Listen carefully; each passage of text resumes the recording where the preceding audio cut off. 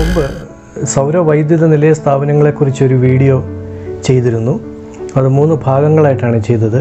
അപ്പോൾ അതിനെ അനുബന്ധിച്ച് ചെറിയ മാറ്റങ്ങളൊക്കെ ആ നടപടിക്രമങ്ങളിൽ വന്നിട്ടുള്ളത് നിങ്ങളെ അറിയിക്കേണ്ടത് അത്യാവശ്യമായതുകൊണ്ടാണ് ഇപ്പോൾ ഈ വീഡിയോ ചെയ്യുന്നത്. അപ്പോൾ പഴയ വീഡിയോ ആരെങ്കിലും കണ്ടിട്ടില്ല എന്നുണ്ടെങ്കിൽ മുകളിൽ അതിന്റെ അതിന്റെ ലിങ്ക് വരും.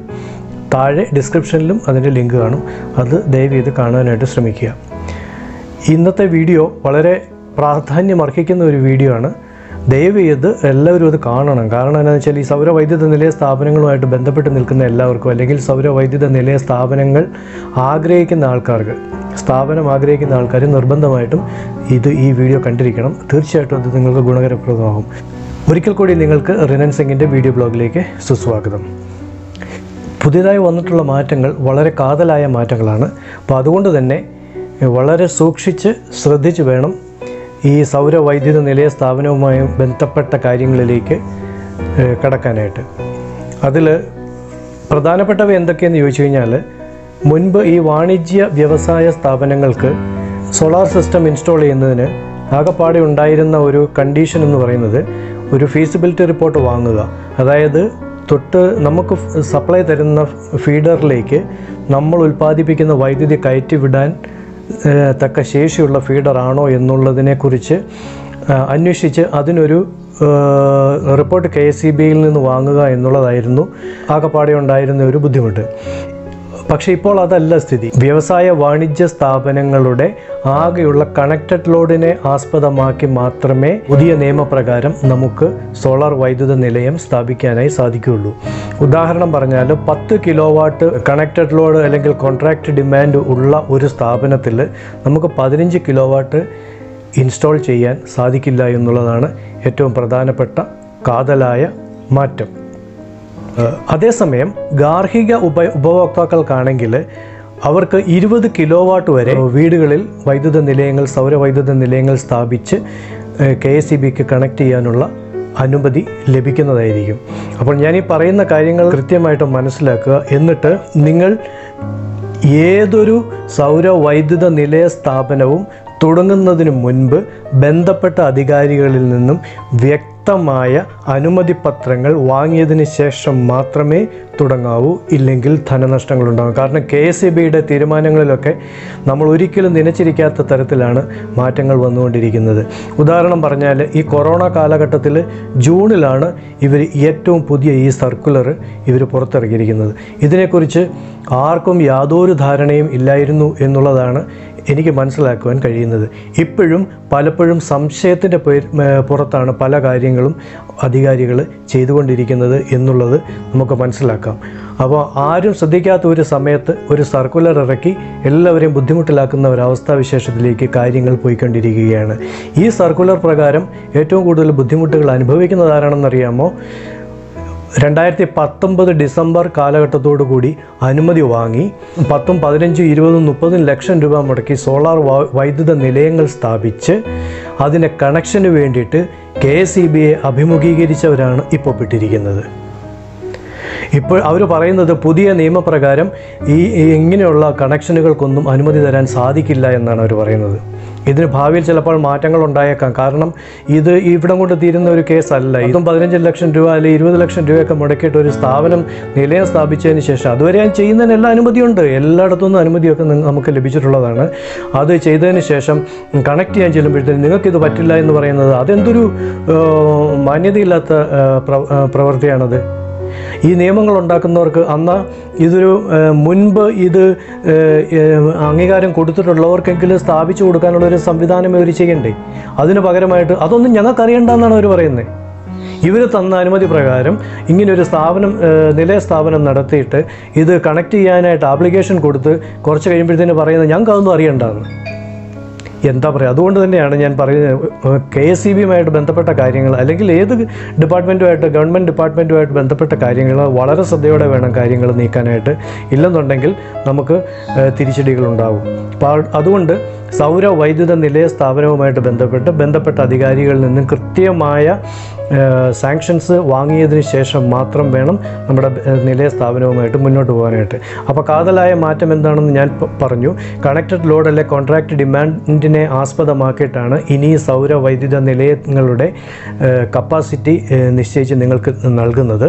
അപ്പോൾ അതുകൊണ്ട് തന്നെ കൃത്യമായി അത് വാങ്ങിയതിന് ശേഷം മാത്രമേ നിങ്ങൾ നടപടിക്രമങ്ങളുമായിട്ട് മുന്നോട്ട് പോകാവുള്ളൂ.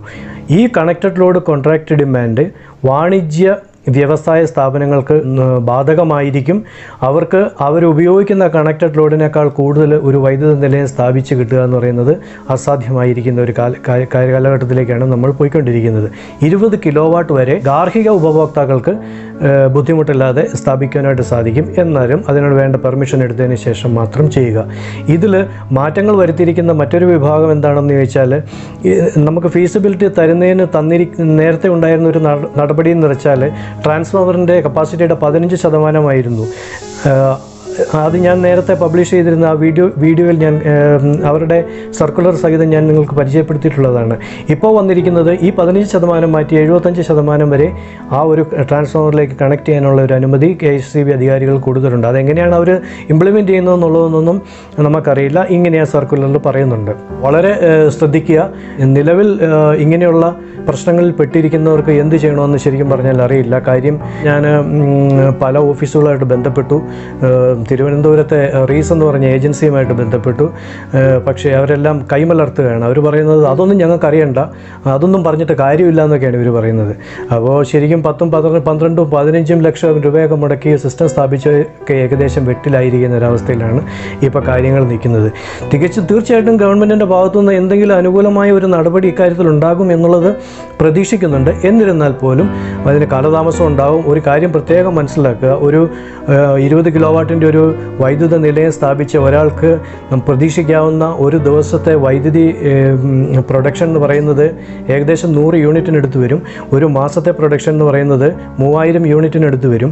ഈ മൂവായിരം യൂണിറ്റിന് ഉള്ള വൈദ്യുതി നിരക്ക് വെച്ച് നോക്കുമ്പോൾ എത്ര ഭീമമായ തുകയാണ് അവർക്ക് നഷ്ടപ്പെട്ടുകൊണ്ടിരിക്കുന്നത് എന്ന് മനസ്സിലാക്കുക. അപ്പോൾ ഇങ്ങനെ വളരെ കാതലായ ഒരു മാറ്റം ഈ നിയമത്തിൽ വന്നിട്ടുണ്ട്.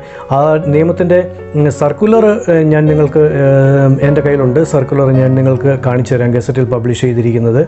അത് ഇപ്പോൾ കെ എസ് സി ബിയുടെ സൈറ്റിലൊന്നും ഇത് അവൈലബിൾ അല്ല. ഞങ്ങൾ ഈ മേഖലയിൽ പ്രവർത്തിക്കുന്നവരായതുകൊണ്ട് മാത്രം നമുക്കത് ലഭ്യമായി എന്നേ ഉള്ളൂ. അപ്പോൾ സർക്കുലറിന്റെ ഒരു സംക്ഷിപ്ത രൂപമാണ് ഞാൻ പറഞ്ഞിരിക്കുന്നത്. ഞാൻ രണ്ട് ദിവസമായിട്ടിരുന്ന് പഠിക്കുകയാണത്. അതിനകത്ത് ഇവർ പറയുന്ന കാര്യങ്ങൾ എന്തൊക്കെയാണ്? വളരെ കാര്യക്ഷമമായിട്ടിരുന്ന് പഠിച്ചാൽ മാത്രമേ നമുക്കത് കൃത്യമായിട്ട് മനസ്സിലാക്കിയെടുക്കാനായിട്ട് സാധിക്കുകയുള്ളൂ. അപ്പോൾ ഈ വീഡിയോ തീർച്ചയായിട്ടും എല്ലാവർക്കും ഉപകരിക്കപ്പെടും. ഉപകരിക്കപ്പെടട്ടെ. തുടർന്ന് അടുത്ത വീഡിയോയിൽ നമ്മൾക്ക് കാണാം. ഇപ്പോൾ ഈ കാണുന്നത് ആണ് കേരള ഗസറ്റ്. ഇത് പബ്ലിഷ് ചെയ്തിരിക്കുന്നത് രണ്ടായിരത്തി ഇരുപത് ജൂൺ അഞ്ചിനാണ്. ഇതിൽ കണ്ടോ അസാധാരണം എക്സ്ട്രാ ഓർഡിനറി തീർച്ചയായിട്ടും അസാധാരണം തന്നെയാണ്. എക്സ്ട്രാ ഓർഡിനറി ആണ്. ഇങ്ങനെയാണല്ലോ കാര്യങ്ങളൊക്കെ പോണതല്ലേ അപ്പോൾ നമുക്ക് ഇതിലേക്ക് പോകാം ആദ്യമായി ഷോർട്ട് ടൈറ്റിൽ ആപ്ലിക്കേഷൻ ഇതൊക്കെ താഴേക്ക് പോട്ടെ. അതിനകത്ത് ഉപയോഗിക്കുന്ന ടെക്നിക്കൽ ടേംസിന്റെ ഡെഫിനേഷൻസ് ആണ് കൊടുത്തിരിക്കുന്നതെല്ലാം നമുക്ക് താഴേക്ക് പോകാം താഴേക്ക് പോയിട്ട്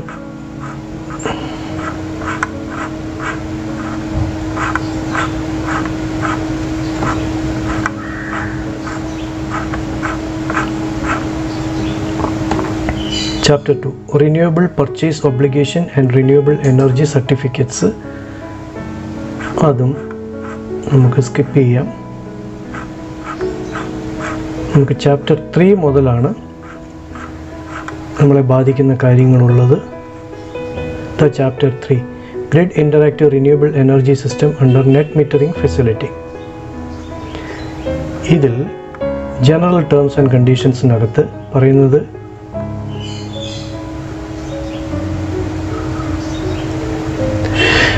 regulations under this chapter are applicable to the following grid interactive renewable energy systems with a net metering facility installed by a prosumer at his premise. Prosumer എന്ന് വെച്ചാൽ പ്രൊഡക്ഷൻ ചെയ്യുന്ന ആൾ കൺസ്യൂം ചെയ്യുന്ന ആളാണ് പ്രോസ്യൂമർ എന്ന് അവർ പറയുന്നത് subject to other condition specified under regulation thirteen grid interactive distributed solar energy system അതൊക്കെ അവിടെ നിൽക്കട്ടെ general conditions the distribution licensee shall provide the net metering arrangement to the prosumer who intends to install അത് അവർക്കുള്ള guide guidelines K C ബിക്ക് അത് നിൽക്കട്ടെ The grid interactive renewable energy system installed by a prosumer at his premise under, the, under this chapter shall be of not less than 1 kilowatt and not exceeding 1000 kilowatt capacity നല്ല കാര്യം തന്നെയാണ് on A C side of the inverter connected to the net meter of the distribution system limited to the sanctioned connected load or contract demand as applicable to the prosumer അതാണ് ബാധിക്കുന്നത്. Limited to the sanctioned connected load or contract demand as applicable to the prosumer മനസ്സിലായി കാണുമല്ലോ? ഇനി അടുത്ത ഒരു clause provided that the domestic consumers with connected load up to twenty kilowatt is permitted to install renewable energy system of capacity of up to twenty kilowatt irrespective of their connective load ഇതിനകത്ത് പറയുന്നത് നോക്കുക ഇതൊരു domestic കൺസ്യൂമറിന്റെ കാര്യമാണ് പറയുന്നത്. ഇനി അടുത്ത സ്റ്റാൻസിൽ പറയുന്നത് provided further that the above limit of twenty kilowatt connected load shall not apply in the case of group housing societies and residential flats for common services such as lift, common lighting, clubhouse, car parking, common areas. ഇനിയും ഇതിനകത്ത് പറയാത്ത ഒരു വിഭാഗമാണ് commercial prosumers കേട്ടോ. Provided also that prosumers including those prosumers mentioned above are also permitted to install renewable energy system in excess of their connected load അഞ്ച് kilo watt ഉള്ളവർക്ക് ഇരുപത് kilo watt വരെ ചെയ്യാമെന്നാണ് പറയുന്നത് or contract demand as applicable however the benefit of net metering shall not be allowed to such prosumers and such prosumers shall be treated at par with the prosumers having RE capacity more than 1 megawatt. ഒരു മെഗാവാട്ടിന് മുകളിലുള്ള as detailed in chapter four of these regulations മനസ്സിലായല്ലോ? ഇനി അടുത്ത ക്ലോസിൽ important ആയിട്ടുള്ള ക്ലോസുകളാണ് ഞാൻ ഈ mark ചെയ്ത് വെച്ചിരിക്കുന്നത്. Provided that when a prosumer install renewable energy system in excess of the connected or contract demand as applicable, the expense for the augmentation of the distribution system required for connectivity shall be borne by the prosumer. അപ്പോൾ അങ്ങനെ ഒക്കെ പറയുന്നുണ്ട് പിന്നെ അത് specification capacity അതും പോട്ടെ ഇനിയും നമുക്ക് ഇതിങ്ങനെ ഡീറ്റെയിൽ ആയിട്ട് പോകുന്നുണ്ട് കേട്ടോ use of the excess electricity generated from renewable sources in another premise അത് നേരത്തെ വീലിംഗ് എന്ന് പറഞ്ഞൊരു ഫീച്ചർ ഉണ്ടായിരുന്നു. അതിനെക്കുറിച്ച് തന്നെയാണ് ഈ പറയുന്നത്. The prosumer shall have the right for wheeling the excess electricity during a billing period to another premises own by him എന്ന് പറയുന്നുണ്ട്. അങ്ങനെ അതും പോകുന്നു. ഇനി നമുക്ക് താഴേക്ക് വന്നാൽ കൊമേഴ്ഷ്യൽ കൺസ്യൂമേഴ്സിനെ പ്രോസ്യൂമേഴ്സിനെ ബാധിക്കുന്ന കാര്യങ്ങൾ മെൻഷൻ ചെയ്തിരിക്കുന്നത് നാലാമത്തെ chapter page number മുപ്പത്തിനാലാണ് prosumers having capacity more than one megawatt ഈ കാറ്റഗറിയിൽ വരും. ഈ പ്രോസ്യൂമേഴ്സ് ഈ commercial prosumers the provisions under the regulation twenty two twenty nine are applicable to the following grid interactive renewable energy system ഇതിനകത്ത് വ്യക്തമായി പറയുന്നു a prosumer having renewable energy systems with installed capacity more than one megawatt at his premise for his own use, including a prosumer not covered under net metering specification in chapter 3. നമ്മൾ മുമ്പേ കണ്ട ക്ലോസിൽ പറയാത്ത പ്രോസ്യൂമറും ഇതിനകത്ത് വരും. അപ്പോൾ commercial ഇതിനകത്ത് വരുന്നു എന്നർത്ഥം. ഇനി താഴേക്ക് സ്ക്രോൾ ചെയ്യുമ്പോഴത്തേക്കിന് കൺഫ്യൂഷൻ നിൽക്കുന്ന ഒരു മേഖല ഇതാണ്. Prosumers and captive consumers including those consumers mentioned in third proviso to sub regulation two of regulation thirty അത് മേളിൽ പറഞ്ഞിരിക്കുന്ന റെഗുലേഷൻ തേർട്ടീനിൽ പറഞ്ഞിരിക്കുന്ന കാര്യമാണ്. തേർഡ് പ്രൊവിഷോയിൽ പറയും ഞാൻ അതിലേക്ക് നിങ്ങളെ കൊണ്ടുപോകാം. Under these regulations are permitted to install renewable energy systems irrespective of their connected load or contract demand. As the case may be to offset their energy consumption on annual basis subject to the terms and conditions specified in this chapter. Actually confusion നിൽക്കുന്നത് ഇതിനകത്താണ്. പക്ഷേ ഇതിനകത്ത് താഴേക്ക് scroll ചെയ്ത് വരുമ്പോഴത്തേക്കും വേറെ കുറേ ക്ലോസുകൾ പറഞ്ഞിട്ടുണ്ട്. മീറ്ററിംഗ് സിസ്റ്റം അങ്ങനെ കുറേ ക്ലോസുകൾ പറഞ്ഞിട്ടുണ്ട്. പക്ഷേ എനിക്ക് തീർച്ചയായിട്ടും കൺഫ്യൂഷൻ നിൽക്കുന്ന ഒരു മേഖല തന്നെയാണിത്. കെ എസ് ഇ ബി അധികാരികളും ബന്ധപ്പെട്ട അധികാരികളും പറയുന്നു നിങ്ങൾക്ക് കണക്റ്റഡ് ലോഡിനനുസരിച്ച് മാത്രമേ ചെയ്യാൻ പറ്റുള്ളൂ എന്ന് പറയുന്നു. പക്ഷേ ഈ ക്ലോസിൽ വ്യക്തമായിട്ട് പറയുന്നുണ്ട് ഇത് കോൺട്രാക്ട് അല്ല കണ കോൺട്രാക്ട് ലോ ഡിമാൻഡ് അല്ല കണക്റ്റഡ് ലോഡിന് മുകളിൽ ഇൻസ്റ്റാൾ ചെയ്യാൻ സാധിക്കുമെന്നും പറയുന്നുണ്ട്. ഇത് എന്താണെന്നുള്ളത് വ്യക്തമാക്കി തരേണ്ടത് കെ ഇ ബി ഉദ്യോഗസ്ഥരുടെ കടമയാണ്. അവരത് ചെയ്യും എന്ന് വിശ്വസിക്കട്ടെ. ഇനി നമുക്ക് ഇതിനകത്ത് പറഞ്ഞിരിക്കുന്ന third proviso to sub regulation two of regulation തേർട്ടീനിലേക്ക് ഒന്ന് പോവാം. നമുക്ക് റെഗുലേഷൻ തേർട്ടീനിലേക്ക് പോവാം.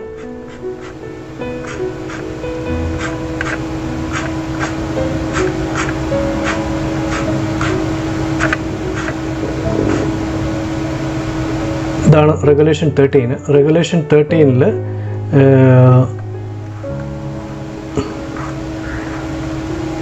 ഇതാണ് third proviso The grid interactive renewable energy system under net metering installed at the premise of the eligible individual consumer shall utilize the same service line and installation provided that when a con- prosumer install renewable energy system in excess of the connected or contract demand as applicable the expense for the augmentation of the distribution system അപ്പോൾ ഇത് പ്രകാരം commercial കൺസ്യൂമേഴ്സിനും install ചെയ്യാൻ സാധിക്കുമെന്നൊക്കെയാണ് അതിനകത്ത് പറയുന്നത്. ഇത് ശരിക്കും confusion ഇതിനകത്ത് നിൽക്കുന്നുണ്ട്. ഉന്നതപ്പെട്ട അധികാരികൾ അതനുസരിച്ചുള്ള ഒരു ക്ലാരിറ്റി ഇതിനകത്ത് ജനങ്ങൾക്ക് കൊടുക്കുമെന്ന് നമുക്ക് പ്രതീക്ഷിക്കാം. അപ്പോൾ ഇന്നത്തെ വീഡിയോ ഇവിടെ പൂർണമാവുകയാണ്. എല്ലാവർക്കും ഈ വീഡിയോ തീർച്ചയായിട്ടും ഉപകാരപ്പെടുമെന്ന് വിശ്വസിക്കട്ടെ. ലൈക്ക് ചെയ്യണം ഷെയർ ചെയ്യണം സബ്സ്ക്രൈബ് ചെയ്യണം. താങ്ക്